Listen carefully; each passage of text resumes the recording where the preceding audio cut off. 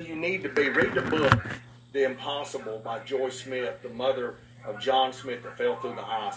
You've got, you need to be to the point that no matter the circumstances, no matter when they come and tell you, there's no way. Your finances are so out of whack, there's nobody that can help you. How many of you have been told that? Okay? How many of you have been told that? There is no way anybody can help you. You owe more than what's coming in. My goodness. Do we actually believe that? Do you not believe that that God can send somebody your way that can change your life forever? You remember the story I was talking about where the woman's getting ready to get evicted and the guy goes, "Sir, I'm sorry, but listen, unless you own this foreclosed property, you can't help this woman." And the guy goes, "But I do." And he goes, "You see this deed?" He goes, "Yeah." He said, "Whose name is that?" And he read it and he says, That can't be. That's who's getting evicted. He goes, But it can be. Because I just gave this to her. I bought this. And the woman starts weeping. She goes, I don't understand. Why would you do that? And he shared about how he was a little boy and his parents had died and he had nobody and he was on the streets and nobody give him the time of day. But this woman, she gave him her rent money. She gave him her rent money when her husband said, Are you kidding me? This kid could, you know, this kid could be a con artist. And you're going to, we can't even pay our bills, and you're going to give away what we got. And she gave away everything that she had in her possession to that little boy that had lost his mom and dad. And she gave him a necklace. And at the necklace, she was telling him, It's good luck. It's good luck. She encouraged him. And he said, Because of you, I've accomplished all this wealth. And this is me giving back. And he said, As a little boy, I'll never be able to repay you. And she said to him, When you get on your feet and when you succeed in life, you help someone as I have helped you. Wow. Mm. Wow. See, a lot of people probably think, wow, Mike's got it made. He, he lives with a silver spoon in his mouth. Since I've been live streaming for the last four years, I've been under some of the greatest trials I've ever been in. Financially, definitely physically, spiritually, just battle after battle after battle. I got people that, and, and let me tell you something. I've had times where if I didn't reach back out to somebody immediately working a full time job and somebody send me a message and say, Will you pray for me? And maybe Facebook blocked it and I didn't get it, but then when I didn't respond because I didn't see it, brother, I sent you a prayer request. Who do you think you are not to respond to me? I thought you cared. These are some of the things that happens to me. I've had people to say, uh, for instance, I'm going to give you another one. This one really stung, but I'm just going to call it like it is. I shared this with some of the pastors. Uh, this actually happened to me. I'd never say who done it. That's not the point. But I had somebody that uh, reached out to me and said, "Man, your wife's a blessing. Look at everything that she does." She said, uh, so, "Yeah, look at everything that she does." And so somebody said, "I'd like to send uh, twenty dollars to you you give it to your wife and you tell her to use it for whatever. That's my way of saying thank you and God bless you for her sacrificing so much time. And then the next thing I know, people talking amongst people, and it comes back to me and somebody says, and we lost people, I'm sure, on the live stream because of it, because, you know, uh, the old saying is, the truth is the truth whether anybody believes it or not, and a lie can be a lie even if everybody believes it. But what happened was was uh, somebody made a statement that uh, well somebody sent twenty dollars to Mike and he gave it to his wife and I wonder what his wife done with it. And as I've said before, me and my wife both and this is nothing. Uh, I mean, this is reality. Pastor Darren's known me for years. I share with all of you on here. Me, uh, you know, me and my wife. Uh, if if anybody thinks it's for the income, uh, they're sadly mistaken. It's the outcome. It's souls, souls, souls, souls. Me and my wife have uh, have sown. I ain't saying a dollar amount, but me and my wife have sown a whole lot more than what's been sown in. I don't ask people to sow into what me and my wife do. I ask people to sow in to what God tells you to do. That's the key. If He tells you to sow in, I will tell you this: everybody that's sown in uh, to, to to what we're doing, uh, God's blessed them. But God's blessed the ones that's prayed too. God, you know, as I've shared, the Lord said for those that will embrace the miracles that He's done and give Him praise, praise God. Praise God. But I just want people uh, uh, to know that this is, and I would hope that everybody would know that. It's, it's definitely, it's like a pastor told me one time. If you if you do what what I do, thinking it's going to be about income, then you're you're setting yourself up uh, for a sad day because it's not about that. It's not about that. You know, Jesus said to him when he went out two by two, didn't he? Take absolutely nothing with you. Take nothing with you. You know, in other words, where you're welcomed in, you pray for them. Where you're not, dust your feet off and keep on moving. Keep on moving. Some of you see the enemy probably thinks, well, uh, I'll, I'll shut him down so he don't have no resources. I'll get people talking about him and so forth. And so, how did I handle that? How did I handle that? I said to all of you, I want y'all to be a blessing to this ministry and this ministry. And for this season, don't send nothing here. See, I don't, I don't want it to be a stumbling. I don't want it to be a stumbling block. It takes resources. Now, I probably will say that if somebody wants to sow into us going into the schools and when we go to Florida, because things have uh, things have have uh, changed recently uh, I'm not, uh, you see me on here right now. Excuse me, 905. Um, working third shift and uh, the hours and everything was uh, was a, a, tad much. I won't go into all the details. I'll just ask people uh, to basically just you know just pray, continue to pray God's will be done over over my over my life, okay? Over my life. I know a lot of people would probably be saying if you was having to deal with what I'm dealing with right now, be sitting here saying, well, I don't want to talk to nobody. But that's not the way it works. See, if you get thrown into the pit, even if it's not your fault, if you get thrown into the prison and it's not your fault and you're innocent, you don't have the right to blame God and say, well, God, if you was real, how could this be happening? The Lord says in His Word, it rains on the just and the unjust. You've heard me say over and over, Lord, if you allow sickness to come upon my body, I'm going to praise you. Then the next thing I know, boom, I'm told I'm type 2 diabetic and everything starts changing. It ain't slowed me down. And if I lose my life telling people about Jesus, that's a good thing. That's a good thing. My life is not mine anyway. Belongs to Jesus. Okay? And I will say this too. I know what it's like to run a company. I know what it's like to be blessed and be able to have pretty much whatever you want. And I mean that in the materialistic thing. I know what it's like to walk around in great favor and influence, politically and business wise. Ain't no peace in that. Ain't no peace in that.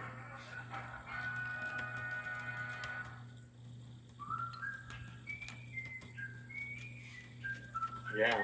Well, and see, that's if, if here's the thing. If we are attacking each other, I've seen a couple comments get posted on here. If we're attacking one another, that's not of God. You know what? Let, let me say this. Y'all, y'all ready for a truth bomb? Y'all ready for a truth bomb? I'm gonna show y'all something right here in a second. How many y'all ready for a truth bomb? Okay? How many y'all are ready for a truth bomb? See, Facebook's showing that, but I don't know who in the world they think they fool. They're showing on the live video almost as many shares as comments, and people commenting all, all through here. I don't know why they try to be so so deceptive, but they but they do. Yeah, I saw that. That's cool. Okay. Give y'all truth bomb. I don't even know where this one guy is. Yeah. I'm just gonna speak. I ain't even gonna speak a full name. Okay? And it's this. Y'all remember not too long ago. Y'all remember not too long ago. There was a guy that all he done was come on here and terrorize me. He went behind my back, made uh, false claims, threatened me, and everything else. And he was real ugly. Even started, uh, listen to this, even started a rumor that I was responsible for somebody. It don't get no worse than that, y'all. Started a rumor that I was responsible for somebody's suicide, which was a lie. But I lost a lot of friends on Facebook because of this, because some of them bought into the lie. And all he wanted to do was hurt me and hurt me and hurt me. And then he had a massive heart attack, I believe, and somebody asked me, Will you pray for him? They got on live stream and said, Will you pray for him that he'll live? And I did. And some of his family that was on here seen that. And the guy never come against me again. But let me say this. If I can pray and ask for God's grace on a man that has done everything to destroy my life and make my life miserable and my wife and my children, why in the world would any of us attack one another? Because when you do that, here's the thing you're missing. We fight not against flesh and blood, but against principalities and powers. If you're going to see a kingdom destroyed, it's going to be from within, not from without. Okay? The Lord said the demonic, you don't worry about the demonic. They know who you are. It's the religious spirit that you better watch out for. It's the religious spirit that you got to watch out for. Shannon, get back with me and let me know if you want to go to Florida. I'd love for you and Pastor Darren and others to go. But let me tell you this we need more people helping in these last days. Uh, Pastor Darren, if you will reach out, Brother Shane McCall said, I'm ready. I'm in. What can I do? What can I do? And we're going to get some people. I can't do all of this as far as just like in Gaston County. Uh, we got enough. We got enough churches in Gaston County that if everybody, amen, Oh, yeah. Well, let me say this, Pastor Darren. You're going to like this. Yeah, they're playing games. One of the groups alone that I share into and the administrators approve it every time. Listen to this. One of the groups. It's got 1.2 million people in it. I want you to think about that. 1.2 million. There's probably in just the groups I share in totally that approve the signal every every time I get on here. And I'm a uh, I don't even have to ask for permission. They immediately let it go through. And they have uh, probably about four to five million total. And so it gives you an idea of what's going on. But let me tell you this they ain't going to stop what God's doing. What are they going to do when we go down there? And matter of fact, I listen, bring the cameras. Bring the cameras when we go to Florida. I want everybody to, to, to do this. Because when I'm down there sharing with the Jehovah Witnesses and the Muslims and the others, I, I want to make sure that everybody gets to see this.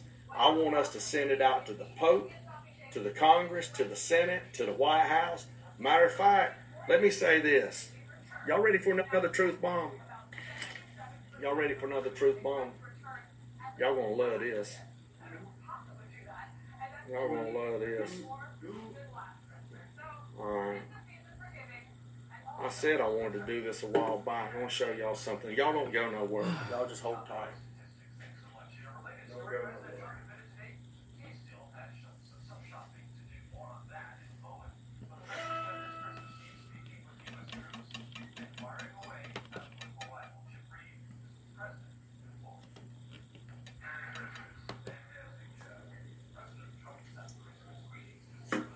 I'm going to give you two.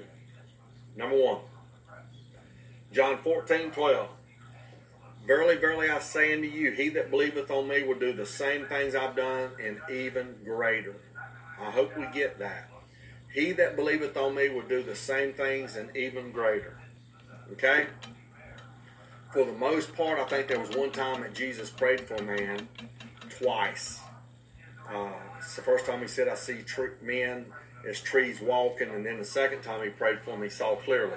So the problem wasn't the problem wasn't Jesus and his faith.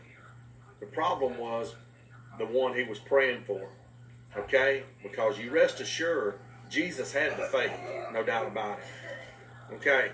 Smith Wigglesworth, the apostle of faith, said this If you have to ask more than once, then you're struggling with your unbelief. Now, somebody might say, Well, how dare you tell me that? Well, I'm just telling you the truth. We all have that problem. We all have that problem. I don't think there's anybody out here that can say that I've never, amen, that I've never uh, struggled with that. Yeah, we're going to be down in sometime in January. I don't know when, but I'm going to get up with Pastor David Raymer. But I know it's got to be sooner or later because I need to get down there and share this. He's offered me an opportunity to share my mother's miracle of how God raised her up from being brain dead, and I'm going to do this. Okay, so I'm going to be down in uh, Florida. I hope to get to go to uh, uh, TBN and uh, meet somebody down there. So Martha's like, I'm staying home. I don't know. So, but anyway. So, uh, I don't even know where Port St. Lucie, Florida is, but we're going to be down near, uh, nor, near Orlando. So anyway, oh, oh goodness. Mm. Wow. Wow, wow, wow.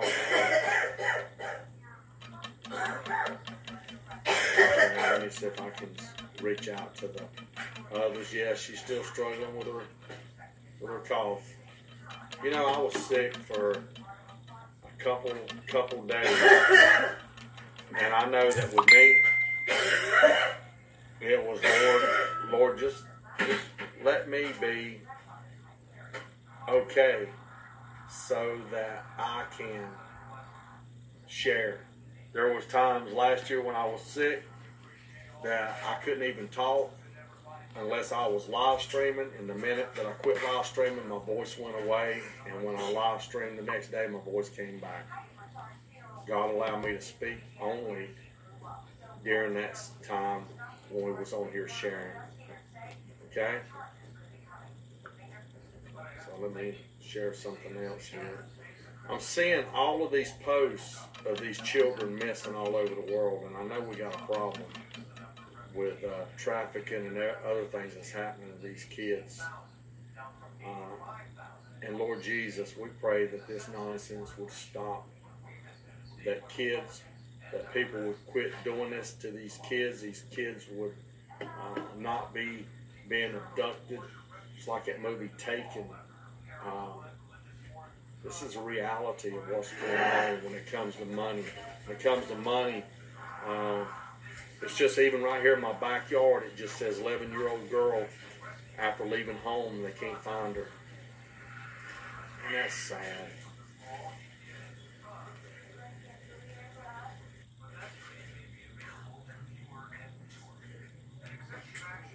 Don't take your eyes off your children.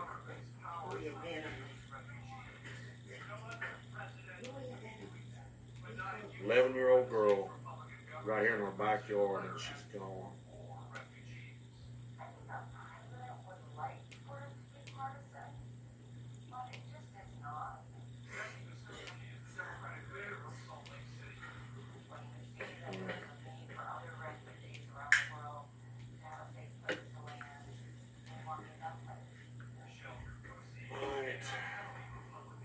So sad so sad that this would happen. 11 years old and she's gone.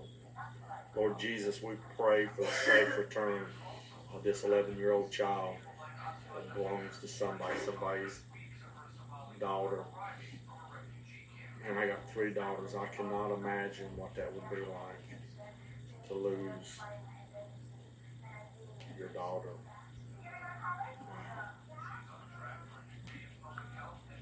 Sharing into a couple more groups.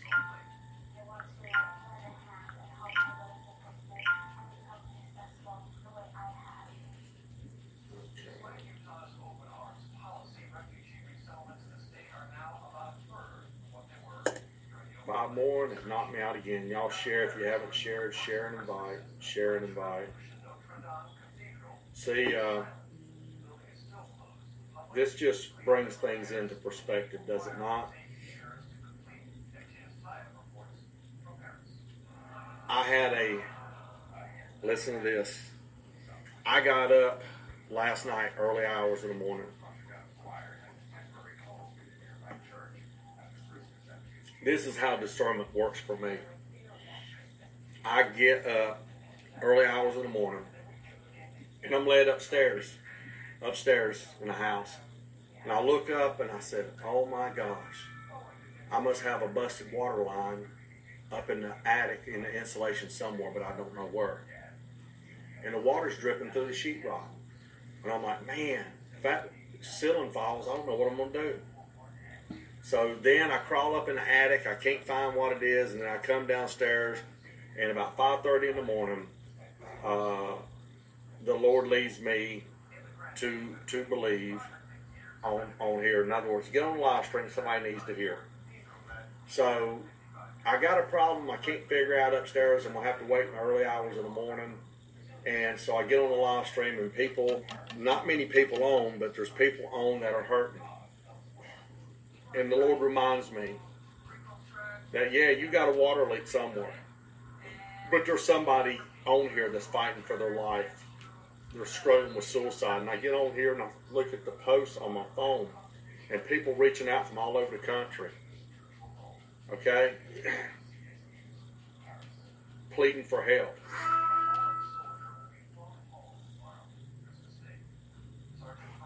Yeah, somebody sent a post, Teresa, where they showed a van and it had a lock from the outside. It's saying that if you see a van that's got a lock on the outside of the side door and the back door with tinted windows, you might want to think seriously about this. And, and, let me tell you, pay attention. Pay attention to your uh, surroundings, okay? Pay attention to your surroundings. You never know that you might be stumbling on something where somebody's trying to take somebody. Man, I tell you, it's a, it's a shame. I, I remember one time that I seen many years ago a van going down the road, and it was just like something tugging at my heart that something wasn't right. And I didn't, I didn't say nothing. And then I've had other times that I've actually I've actually even got somebody off the road that was driving in the wrong lane, and I just prayed, God, have them to make a left turn there, right there, before somebody gets killed. And they took a left turn. Believe it or not, they took a left turn, y'all. And they took a left turn, and they tried to turn around and head back out to the main road. I blocked the road I, I took my car and blocked the road. They didn't try to run me over. They just stopped right where I was. And I said, excuse me, I noticed that you was all over the road. Something's not right. And they looked at me like I need to go. And I was like, no, I can't. And I know some people probably say, you, you could have been shot, brother.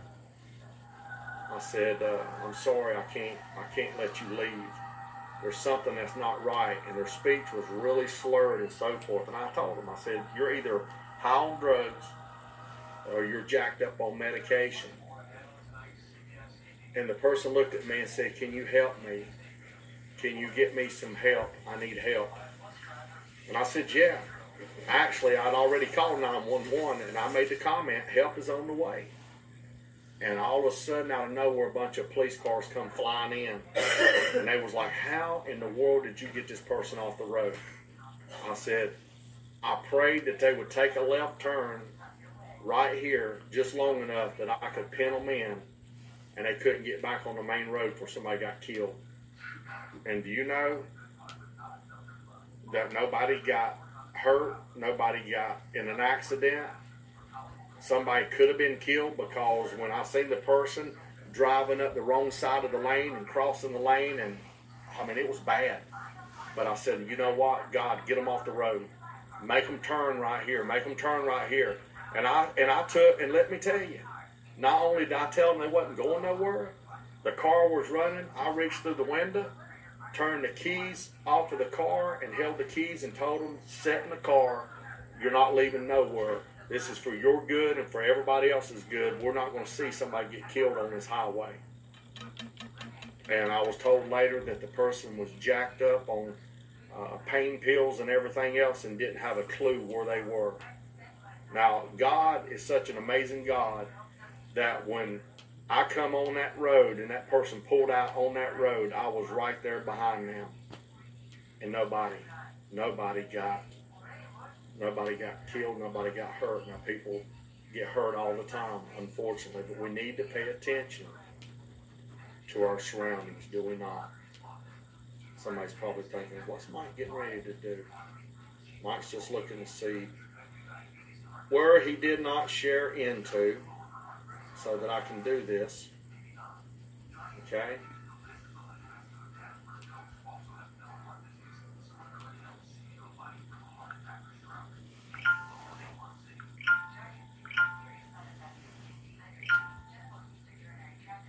Okay.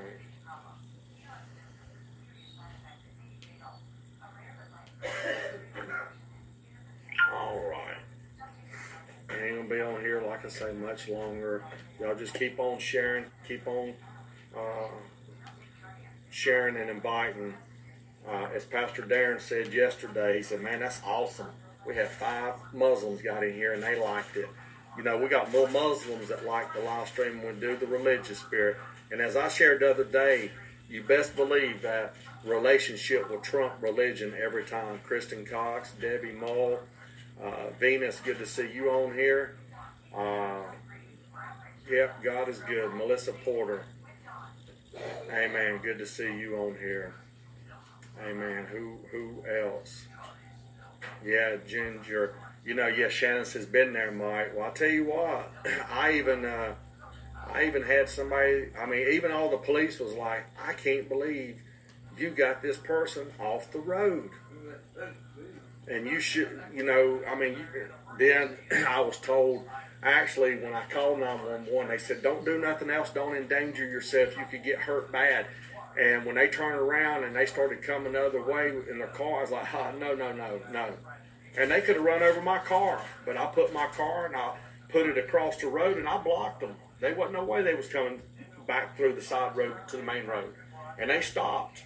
And I just walked up to them and I said, what's going on here? You're all over the road and you could have been killed. You could have killed somebody. And, uh, and their speech was real slurred. And I told them, I said, there's one or two things. You're either high on drugs or you're on medication. I said, which one is it? And then the person said, I need help. Can you help me? And I said, yeah. They asked me to call, they actually call, asked me to call their family member to come get them that they realize I've got no business on the road. And I told them, I said, that's why I've got you blocked in here. You're not going back to the road. You're going to make it back to your home eventually. You're going to make it alive. You're not going to be killed out here. And that's exactly what happened. that's exactly what happened. Amen.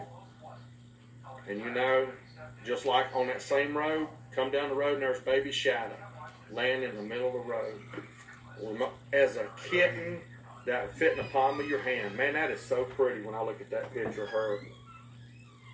You know what? She is so comfortable that many times on live stream when she comes in here, she hops up on my shoulder. Now she's so big, she can't do that. And she'll hop up on the bed with me when I'll lay down to take a nap and so forth.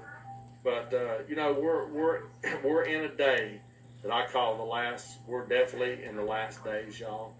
We don't have a whole lot of time, and we got to make the most of it. If you're on here put your prayer request up here. I love that. Sister Carol, I'll share with your daughter last night that you said, Oh man, send her to me. There's been times that my wife and Shadow bit her, that my wife's like, honey, box her up and send her to Sister Carol. Uh, she's uh, She's sweet now. yeah. Martha says she's sweet now. She's sweet until you, you'll just be just like with me. She'll be rubbing her paw on the side of my face, putting her face up against me, and then all of a sudden she'll reach right around and grab me on the nose and just light into me. But let me let me say this: um, God is so good. God is so good. He's blessed us all with amazing pets. Amen. We're fortunate. Y'all, uh, let me also trying to look and see where I think I know where I'm at now. I'm trying to share in all the groups. Wanda Pike says, "Pray for my daughter." Uh, Wanda, we are lifting your daughter up for prayer. Uh, Wanda, let me ask you something. I think I seen something recently from you too. Are we not friends on Facebook, or something happened? I've got people that reach out to me and say, "Well, we were friends, but I accidentally deleted you, so I sent you another one." Wanda, somebody sent me a friend request. I don't know how long ago, but it's got your name on it. I thought we were friends, but just if somebody on here is something's happened, you accidentally deleted me. I know I hadn't deleted nobody, but if you accidentally deleted me, just send me something and say, "Hey, brother Mike, I, I didn't mean to. I accidentally deleted you. Will you accept the new one that I've got out there?" And we'll do that. Okay. All right. How about that? We'll we'll do that. Amen. I'm just so glad to see Shannon Duncan uh, back on here because, like I say, he likes to drive, and I think that I think that would be cool if me, him, and if me, him, and Pastor Darren got to go to uh, Florida or Tennessee on a ministry trip. Okay. I, Sure, about what? and Martha says she wants to go too. I tell you, when Martha to go, there was somebody said, "God bless you from Hawaii. We love hearing you." Uh, if somebody ever decides that we're supposed to go minister in Hawaii, I'm sure my wife will be all about that one. Uh, so, anyway, but you know what my dad said, son, before you go into these other countries, America needs a mighty move of God. So I'm believing in. So Pastor Darren, and- and this is where we need some help by some other people. Uh, we can never have enough help in building the kingdom of God. We can never have enough help in building the kingdom of God. Okay? so if somebody Okay, so Wanda, you said you sent it. All right, I'll go back and see if I can find it, and I will accept it. Okay, Wanda? I get a lot of people that I'm hesitant after I've done accepted one because I don't want I don't know if somebody's account's been hacked or so forth. So, but if it's somebody sending me another one to replace one, just let me know. Okay, just let me know, and we'll make it right. We'll get it. Okay, I got several more groups. It's only get five at a time. Amen. But again, we need all the help we can get to go into the schools, to go into the uh, churches, because uh, I don't have a uh, I don't have a staff that helps me set up appointments and so forth. It's just me and Darren and some others that are helping. And so we're believing for the schools. We're believing for some of the cities. And if somebody's wanting us to come, just like whether it's Tennessee or whatever, or uh, like Evangelist Johnson saying Alabama, uh, just uh, just let us know. I do know that I am definitely in January going to Florida. I also want to, and and I understand this. This might be after the first of the year sometime, but let me tell you this. I definitely know what it's like to be in Washington D.C. And if I've got some people that would go with me to Washington D.C. to go meet with some of these uh, political leaders and express our concern, I'll go. I used to do this all the time when I build and run subway stores. I used to make a habit It seemed like about every quarter I was in Washington D.C. meeting with people.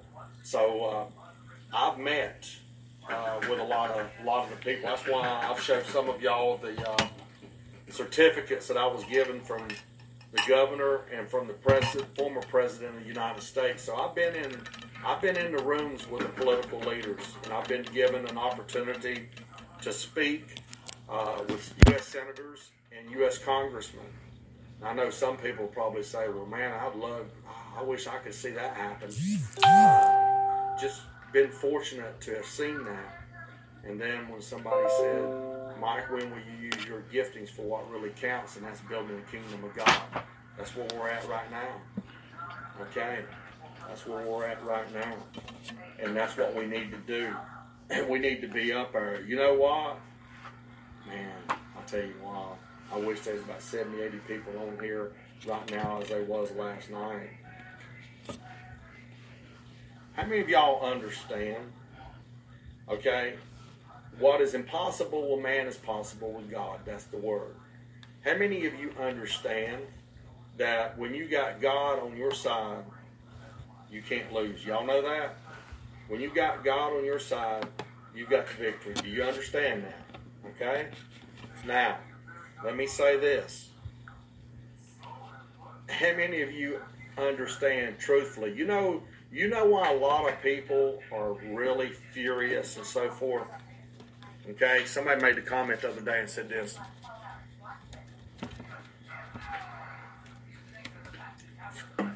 When you got leaders that believe morally, you know what they should be saying? Problem's not with me being a morally leader. The problem is with me